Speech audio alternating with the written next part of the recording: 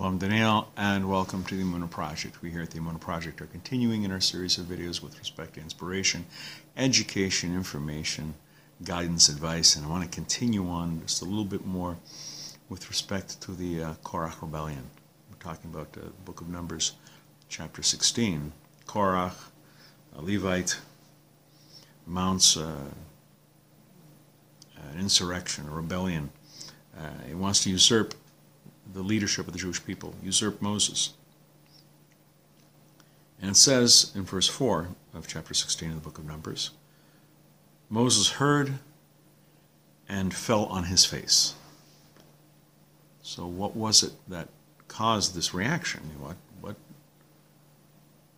what did uh, Moses hear that agitated him so?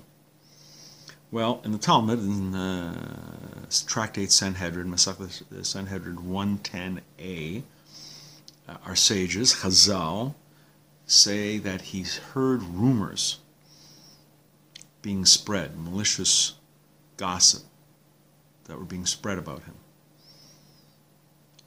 These people suspected Moses of infidelity, of having relationships with an Eishes Ish, um, a married woman. Eishes Ish.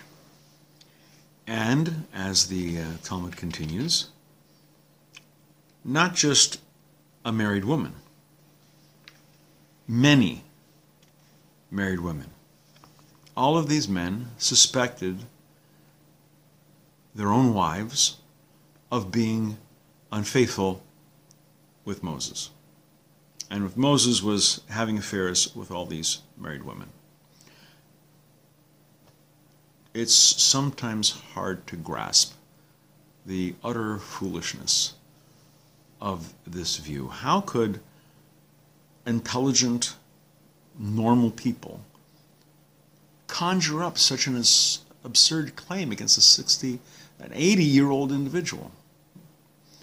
Um, whose devotion, his piety, his virtue, his spiritual status was beyond characterization. It was uh, Harav Yehiel Osrov. He's quoting the Saba Kadisha of Imshpola.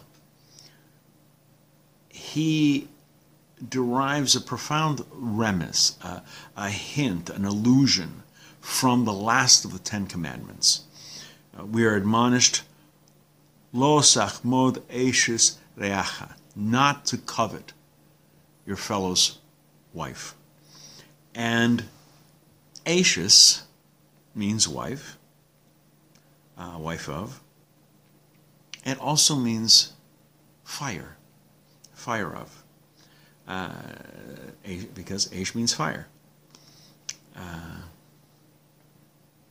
the uh, Saba interprets this verse as an enjoyment against, now follow this here, as an enjoyment against being envious of and coveting the fire of a person, his, his passion, his spiritual passion, that uh, the person is to do and to expend in the service of the Creator. What our neighbor, what our friend is able to expend in the service of the Almighty. What ha- he has merited to be granted from heaven, this source, this fire, um, it's a result of his spiritual ascension. When we apply ourselves as well, when we devote ourselves to uh, spiritual quest with as much devotion as the, uh, the neighbor, the friend, we'll also be able to uh, be the recipient of that spiritual fire. So, the Shpoler um, goes on.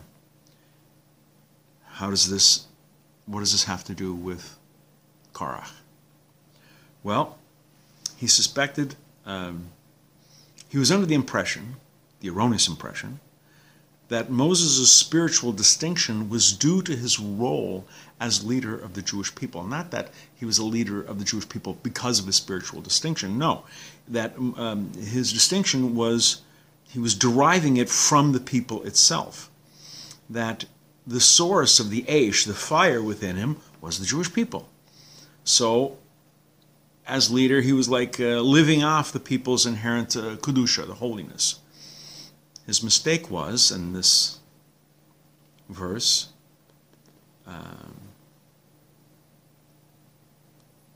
he makes the mistake. The previous verse says, uh, the man Moses was exceedingly humble, most humble person.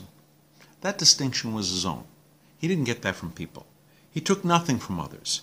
He was the man Moshe. He was an Ish, a man in his own right. So, this idea is to be understood from Moses, his response to Korach. When the man whom Hashem will choose, he is the Holy One. He says, you know what? We'll let God choose, me or you. And um, this distinction is found from someone who's truly uh, chosen by God. Um, it's not in the merit he gets from others. This is his own character. This is his own his own uh, midos. Aaron was selected by God to be the Kohen Gadol. He was uh, selected by God to be the high priest. Um, Moses was chosen, selected by God, to be the quintessential, quintessential leader of the Jewish people. Korach's misunderstanding of this was the root of his error. Korach was not selected. In fact, um, Korach was most decidedly rejected and in a very forceful and dramatic way. We're going to be doing more videos along these lines. Please come back. Please watch, please learn, and until next time, on behalf of the Emunah Project, I'm Daniel, and thank you too much.